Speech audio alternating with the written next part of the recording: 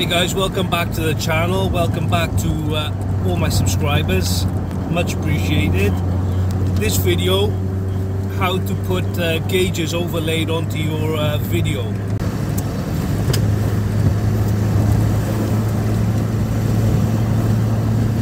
So that's the footage that we can get. So this video going to cover how to do it and which to choose. Should you do it this way, the DIY method, or should you use something like RaceRender? So what do we need to do it for the DIY?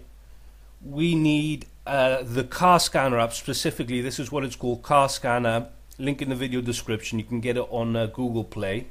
This is the uh, page for it on uh, Google, car scanner Elm OBD2. We need a camera, obviously. Personally, I prefer to use uh, action cams. I use uh, SJ Cam or Xiaomi cameras. We need a AZ screen recorder Again, this is on Google Play. This is the page for a AZ screen recorder.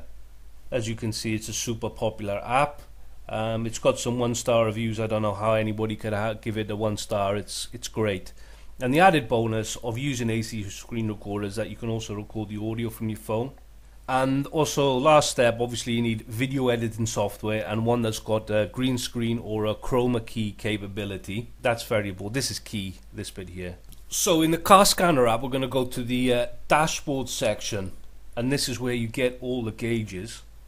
So if we look at the gauges that we get here, this is a custom dashboard, but you can have these gauges to show anything you want. You can change basically everything that you see. You can change the font here, you can change what it says here, you can change the scale on this. It comes with standard scales. For example, this one goes up to 250, but this is normally aspirated car, so we only needed to go up to 100. You can change the color, like I said. You can change the font size. You can change the font colors. You can have whatever gauge you want here. You know, just whatever the OBD is sending to the app, you can have that display here. You can have it display have it display as just a number. I think you can even have graphs if you want. So, like I said, go in the car scanner, do the dashboard, set up the gauges how you want them, and then in AZ Screen Recorder, obviously it records the screen. But when you're doing that, tick the uh, record audio uh, option as well. So you get probably get much better quality recording audio with your phone than with the camera. So that's the option set up for the two apps. So to get the recording we start AZ screen recorder. We open up the uh, dashboard in uh, the car scanner app. We switch on the camera. We start recording. I like to do some claps at the start of the footage just to sync the uh, screen recorder with the uh, camera. And actually that's the that's another great reason to use put the sound option on on the AZ screen recorder so you can sync the footage. And then once you've done that just start driving. So that's the footage recorded. So this is how we do the editing. We put the base layer as the camera or the cameras if you're using more than one. On top of that we put the things that we want to overlay. So in this particular one We've got a uh, Movichip lap timer here, and this is the car scanner. So we put those two things as the uh, top layers on top of everything. The uh, the dashboard will come with a, uh, color background. Personally, I found black to be fine as a color background. And what we do to get rid of the background so we can see through the gauges, on PowerDirector, we go to Modify, and it gives us the chroma key option. So if it's not enabled, this is how it comes off the app. But if we just click chroma key, the default is to uh, make black transparent and this is what it gives us. We've got options here for tolerance, intensity, tolerance if you adjust that to how you want it. I find uh, you know applying a shadow gives a bit more definition as well.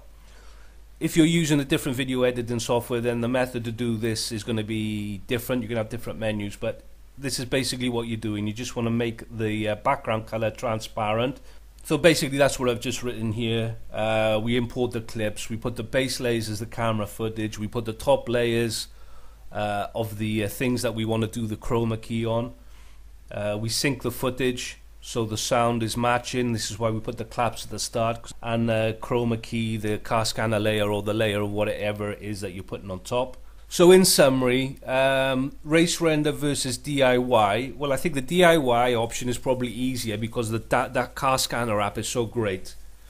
It's so easy to use and it's so customizable.